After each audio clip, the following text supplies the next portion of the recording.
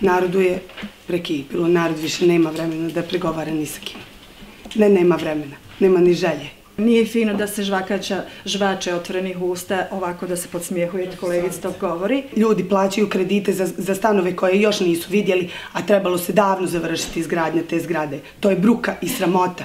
Radite to protiv ljudi koji su branili vas. Ja sam pričao sa Srbima o Martirodu, vi ne štitite srpski nacionalni interes.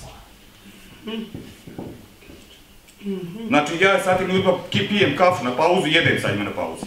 Vi hoćete da kažete da ja nisam po ustavu uradila, ne? Ne, ja ne kažem da niste radili po ustavu. Nemojte, ovaj... Ja samo kažem da niste... Da se završi. Niste štitili srpski nacionalni interes. Svi vi što radite, replicirate jednim drugima.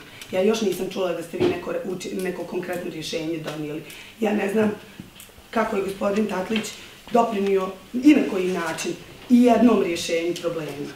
I na koji način. Osim dizanje ruke ili ne dizanje ruke u datom trenutku.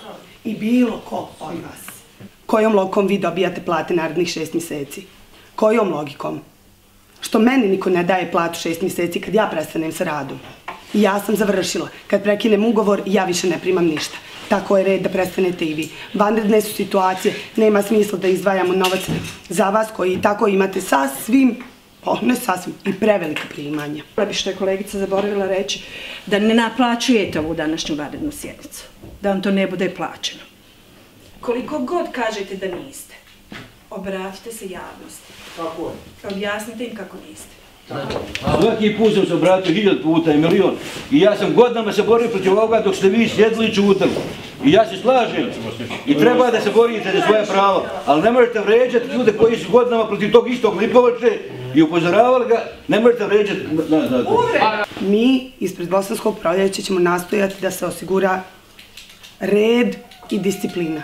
Mi smo obrazovani ljudi, mi smo pametni ljudi, Mi smo ljudi koji ne žele uništavati vlastitu imovinu. Ovaj grad ne pripada ni premijeru, ni ministru, ni bilo kome od vas. Ovaj grad pripada svima nama.